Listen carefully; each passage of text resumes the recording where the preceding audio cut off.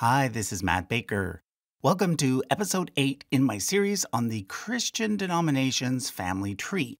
In this video, I'm going to cover a bunch of groups that didn't really fit into any of the previous categories. This will include Unitarians, Christian scientists, Messianic Jews, and many more. But first, I'm pleased to announce that the poster version is now complete and ready to purchase. You can get your copy right now by heading over to usefulcharts.com. We also just released a new version of our biblical family tree, so take note that if you buy both, you automatically get 10% off. I also want to take this opportunity to thank everyone who helped with the project by giving feedback in the comments. One last minute change that was a direct result of the comment section was the inclusion of the Evangelical Lutheran Church of Finland. I also decided to sneak in the church in Wales, since it just didn't seem right to have England, Ireland, and Scotland represented in the Anglican section, but not Wales.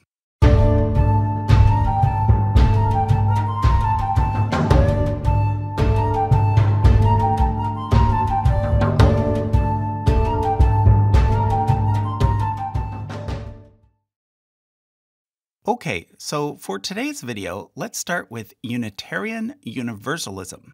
I had actually added this group to the chart a while back, but forgot to talk about them. So let me do that now. As the name suggests, Unitarian Universalism is actually the result of two different movements that eventually merged Unitarianism and Universalism. A Unitarian with a small u is basically anyone who believes in the oneness of God and who rejects ideas such as the Trinity or the divinity of Jesus. So, in this sense, all Jews and Muslims are Unitarians. However, a Unitarian with a capital U is someone who belongs to one of the various Unitarian movements that grew out of Protestant Christianity. The earliest of these Unitarian movements were actually based in Eastern Europe, but eventually there were movements in the UK and US as well. In the US, Unitarianism grew out of Congregationalism, and it became official in 1825 when the American Unitarian Association was formed. Universalism is quite different. It's the idea that ultimately all humans will receive salvation. In other words, no one is going to hell. This idea became popular in some churches around the same time as Unitarianism, and in 1793, the Universalist Church of America was formed. Over time, Unitarians and Universalists became two of the most liberal denominations in America, and in 1961, because they had so much in common, they decided to merge to form the Unitarian Universalist Association. Now, take note that I have not placed Unitarian Universalism in a colored box, like all the other denominations on this chart. This is because they are non Trinitarian and thus non Nicene. In fact, one could argue that they aren't even a part of Christianity anymore. But instead of drawing a line all the way down to the non Nicene Christians box, I opted instead to show them as a black and white symbol, like I did for Judaism and Islam, to indicate that they're more of a separate religion rather than a part of Christianity. In contrast, another very progressive group that definitely is still a branch within Christianity is the Metropolitan Community Church which started out as a single non denominational congregation but has since grown into its own denomination. It was founded in 1968 by a gay man named Troy Perry, who wanted to start a church where gay and lesbian Christians could feel welcome. Starting in 1969, the church started performing the very first public same sex marriages in the United States although those marriages weren't recognized as being legal in California until 2008. To this day, the Metropolitan Community Church is mostly made up of members from the LGBT community. However, it does have many straight members as well. Let me now point out the Catholic Apostolic Church, better known to outsiders as the Irvingian Church, named after its founder, Edward Irving, from Scotland. I probably should have mentioned them in episode 6, alongside the Restorationists, because not only did they emerge around the same time, they also have a lot in common with them, in that they see themselves as restoring the original structure of the early church and that they are quite focused on the second coming. However, please note that nowadays the original Irvingian church has mostly died away and has been replaced by the new apostolic church, which started off as a splinter group in 1863 and is mostly based in continental Europe. Another group that has roots in Scotland are the 2 by 2s They were started by a Scotsman named William Irvine, who was initially loosely connected to the Higher Life movement. He ended up in Ireland, where he began an independent ministry that focused on sending out preachers in groups of two. These pairs, called Go Preachers, were to have no salary and no home, and thus they also became known as tramp preachers. One of the early tramp preachers was a man named Edward Cooney. Although he was eventually expelled, he continued to grow the movement on his own, and thus some 2x2s became known as Cooneyites. Nowadays, the 2x2s are a rather secretive group with no official name. They do, however, reject the Trinity, which is why I've placed them in the non Nicene box. If you want to learn more about this mysterious group, I suggest that you watch today's video by Ready to Harvest, which is all about the church with no name. Another non Nicene group of Christians that are very loosely organized are the Christadelphians, whose name is based on the Greek phrase Christou Adelphoi, which means brothers and sisters in Christ. Their founder, John Thomas, was originally connected to the Stone Campbell movement, which is why I've shown them as descending from that branch. I'd now like to focus on what I've called the metaphysical groups, starting with the Swedenborgians, also known as the New Church. Their name comes from that of Emanuel Swedenborg, who, as you might have guessed, was from Sweden. He believed that humans become either angels or demons after death, and that previous humans, now living in the form of spirits, are all around us on a daily basis, trying to guide us towards good or evil. He died in 1772, and 15 years later, some of his followers established a church in England based on his ideas. And from there, it also spread to the US. The most famous Swedenborgian is probably John Chapman, better known as Johnny Appleseed. Although he's now mostly associated with folk legends, Johnny Appleseed was actually a real person who, in addition to being a new church missionary, also helped to introduce apple trees to many US states. Another key person in the development of certain metaphysical ideas was a man named Franz Mesmer. He's the person that the word mesmerism is based on, which nowadays is mostly used to mean hypnotism. But originally, mesmerism was more than just hypnotism. Also known as animal magnetism, it centered on the idea that there exists an invisible force that connects all living things, and that this force can be manipulated. So Swedenborg had introduced the idea that there are spirits all around us, and Mesmer had introduced techniques for manipulating an invisible force. Therefore, what happened was that people started to use Mesmer's techniques to try and contact the spirits of dead relatives. This became known as spiritualism, and it was all the rage in the mid 1800s. Although not as popular nowadays, spiritualists do still exist, and in the US, they have an organization called the National Spiritualist Association of Churches, founded in 1893. One of the earliest practitioners of mesmerism was a man named Phineas Quimby. He's considered the founder of the New Thought movement, which is a philosophy that connects some of these 19th century metaphysical ideas with similar ideas from the ancient world. In 1889, this movement, combined with the Transcendentalist movement, inspired a couple known as Charles and Myrtle Fillmore to establish an organization called Unity, also known as the Unity Church. It sees God as more of a divine energy that connects all things and teaches that we can use our thoughts to change reality. Which brings me to the most successful of these metaphysical groups the Church of Christ Scientist, better known simply as Christian Science.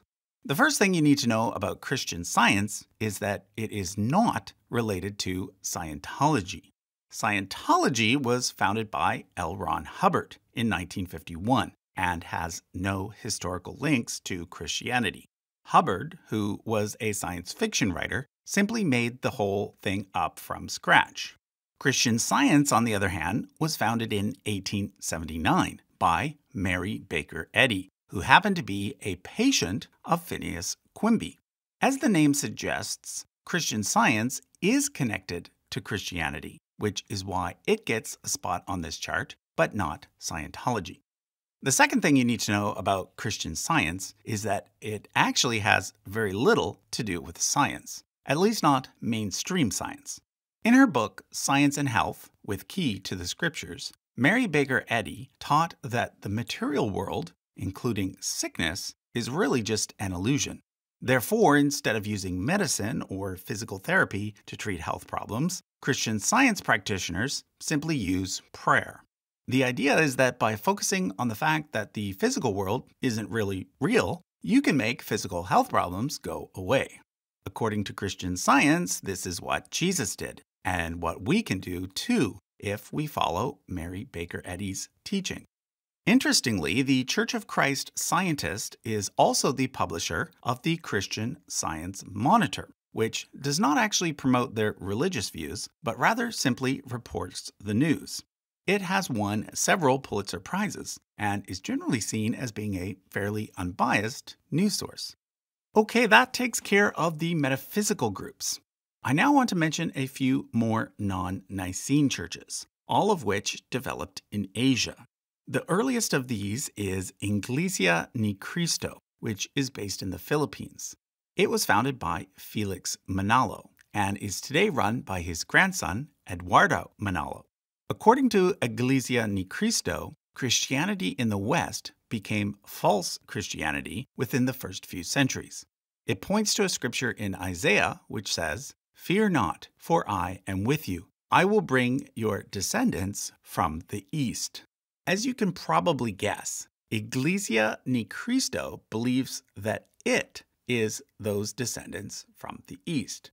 Like many of the other churches in this non Nicene section, it believes that it is the one and only true church, and that every other church on this entire chart is false. Even more extreme is the Unification Church, based out of Korea.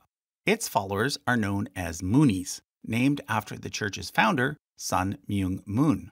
Moon taught that he was the second coming of Jesus and that it was his task to do something that Jesus hadn't done during his first coming, and that was to get married. Moonies believe in a special kind of marriage, one that removes the couple from Adam and Eve's sinful line and places them back in God's sinless line. This is why the Moonies are known for their mass weddings, which sometimes involve thousands of couples getting married at the same time. But if you think that's weird, it gets even weirder. After Sun Myung Moon died in 2012, a power struggle began between Moon's wife, Hak Ja Han, and their son, Hyung Jin Moon, which eventually led to the son forming his own breakaway church called Rod of Iron Ministries. Based mostly in the US, it focuses on gun rights and gets its members to carry semi automatic rifles during their wedding ceremonies and other rituals. Back in Korea, the Unification Church has now been eclipsed by a newer non Nicene church, now known as the World Mission Society Church of God. Originally called the Church of God Jesus Witnesses, it was founded by a man named Ahn Sahng Hong, who had originally belonged to the Seventh day Adventists.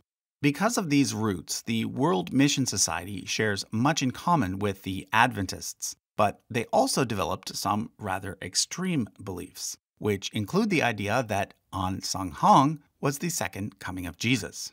He has since passed away, and they now also see him as being God the Father and the Holy Spirit. And they see his wife, Zong Gil Jia, who is still living, as God the Mother. Let's now move out of the non Nicene box back to mainstream Trinitarian churches and take a look at how Christianity has developed in China. Even though Christianity is followed by less than 5% of the population in China, in terms of sheer numbers, China is actually one of the most Christian countries on earth. According to some estimates, China now ranks 7 overall, which is higher than both Italy and Greece. But due to the communist government there, things are, well, complicated. Officially, there are only two churches in China the Three Self Patriotic Movement, which is a coalition of Protestant groups, and the Catholic Patriotic Association, which is Roman Catholic. However, the vast majority of Christians in China do not belong to either of these two churches. For example, in 1957, when the Catholic Patriotic Association was set up, it was forced to reject the authority of the Pope in Rome, and therefore many Roman Catholics became part of an underground Catholic Church instead. However, this is recently starting to change. In 2018, China and the Holy See agreed to a situation whereby the Pope now gets to sign off on bishop appointments. So it's yet to be seen how things will develop from this point forward.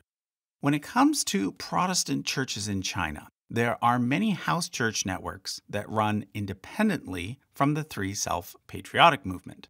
The three largest are the Born Again movement, the Fangcheng Fellowship, and the China Gospel Fellowship. However, due to the situation in China, it's difficult to know exactly how many members belong to these organizations. It's likely, though, that these are some of the largest Protestant denominations in the world. I also want to point out a group known simply as local churches, which was established in China prior to the Communist Revolution by a man named Watchman Nee. This group was initially connected mostly to the Plymouth Brethren, but then went on to build connections with other evangelical churches as well. After the Communist Revolution, Nee was arrested and imprisoned, but one of his followers, known as Witness Lee, continued to grow the movement in Taiwan and then later in the US, where he founded Living Stream Ministry. Okay, let's now move from China to Africa and look at a few churches that were founded by Africans. These differ from most churches in Africa which were originally led by European or American missionaries. The earliest of these African initiated churches is the Zion Christian Church, which is based in South Africa. But don't be confused by the word Zion. Zionist churches in Africa have nothing to do with the modern state of Israel. Surprisingly, the name actually comes from the city of Zion, Illinois, which was founded by a controversial figure named John Alexander Dowie in an attempt to create a modern day theocracy. I call him controversial because although he started out as a popular faith healer, he's now mostly known for having fraudulently made millions off his followers. However, the idea of creating a new City of Zion spread to other areas and became particularly popular in South Africa. It is for this reason that when a man named Engenas Lekganyane decided to start a church, he decided to call it the Zion Christian Church. Today, it is run by his grandson, Barnabas Lekganyane, and it has grown to become the largest denomination in South Africa. The next African initiated church that I want to point out is based in Nigeria and is called the Eternal Sacred Order of Cherubim and Seraphim, although nowadays they like to use the acronym ESOCS.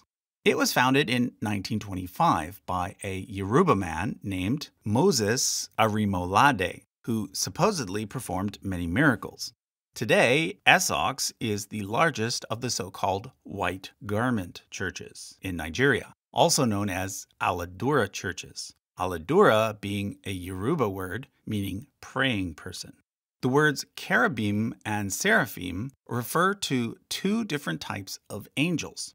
You're probably more familiar with the word cherub, which nowadays is used to refer to angels that look like little winged babies. Another popular church in Nigeria is the Redeemed Christian Church of God. I've shown it in red because it is a Pentecostal church.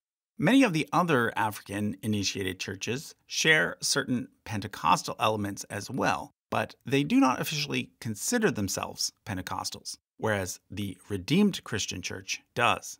It was founded by Josiah Olufemi Akindayomi and is currently led by Enoch Adeboye.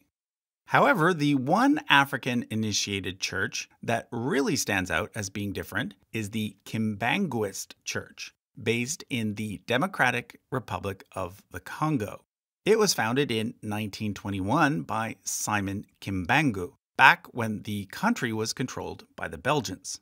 Kimbangu was another supposed miracle worker, but in this case, he ended up being imprisoned by the white authorities because he also preached about black liberation. I've placed the Kimbanguist church in the non Nicene box because eventually Kimbangu was seen as being the incarnation of the Holy Spirit, something that goes against Nicene theology. Nearby, I've also included a symbol representing the Rastafari religion, which developed in the 1930s, not in Africa, but in Jamaica. According to Rastafarians, Haile Selassie, the former king of Ethiopia, was the reincarnation of Jesus. So, although Rastafari is, in a sense, based on Christian ideas, it has since evolved into its own religion which is why I've shown it as a black and white symbol instead of placing it in a colored box. Okay, the last group of Christians that I want to talk about are Messianic Jews. We've come full circle because Messianic Jews are Jewish Christians, which is what the very first Christians were. Let's therefore go back up to the top of the chart to recap. During the lifetime of Jesus, there were four main sects within Judaism of these four, only one survived the destruction of the temple the Pharisees. It was the Pharisees who went on to become the rabbis, and therefore virtually all of Judaism today is considered to be Rabbinic Judaism. However, just before the destruction of the temple, a fifth sect emerged, which went on to become Christianity. In other words, Christianity started out as a sect of Judaism, which is why I've labeled this box Jewish Christians. However, from there, early Christianity went in three very different directions. Those who rejected Jesus as God and continued to practice Jewish customs like circumcision and avoiding pork became known as Ebionites or Nazarenes. Both of these groups eventually went extinct, although before they did, they likely had a big influence on the development of Islam. On the other extreme were the Gnostics, who also went extinct. But in the middle were the Pauline Christians, who Christians today see as being the true Christians. From here, Christianity became a mostly Gentile or non Jewish religion, although early on there were still many Jews. However, the point I want to make which I made in an earlier episode, is that there is no direct continuous line between early Jewish Christians and modern Messianic Jews. Jews who embraced pre Nicene Christianity and then later Nicene Christianity were simply integrated into the now mostly Gentile church. Congregations made up primarily of Jewish Christians did not arise again until the 19th century with the start of the Hebrew Christian movement. In the U.S., the Hebrew Christian Alliance of America was established in 1915, although it later changed its name to the Messianic Jewish Alliance of America. Today, it is the largest of the various Messianic Jewish organizations, which is why I chose it to be kind of representative of Messianic Jews as a whole. Note that they fully accept the Trinity and all other aspects of Nicene Christianity, which is why they are shown within the main part of the chart. But the question a lot of people ask is Are Messianic Jews Jews or Christians? Or are they perhaps both? Well, according to all the modern branches of Rabbinic Judaism, from Reform to Orthodox, Messianic Jews are definitely Christians and not Jews. While many Messianic Jews were born Jewish and would show up as being Jewish on a DNA test, they are actually no longer considered to be Jewish by the greater Jewish community. This boils down to the fact that Judaism and Christianity share common roots, but because Christianity ended up being by far the larger and more dominant group, this has forced Judaism to define itself, in part, as being very deliberately non Christian. In other words, one of the defining features of Judaism is that Jews do not believe that Jesus was God. Therefore, if a Jew converts to Christianity, they are no longer a Jew. Ironically, a Jew can stop believing in God altogether and still be considered a Jew. That's because Judaism is, in a sense, still a very tribal group. So long as you don't join another tribe, you're still a Jew.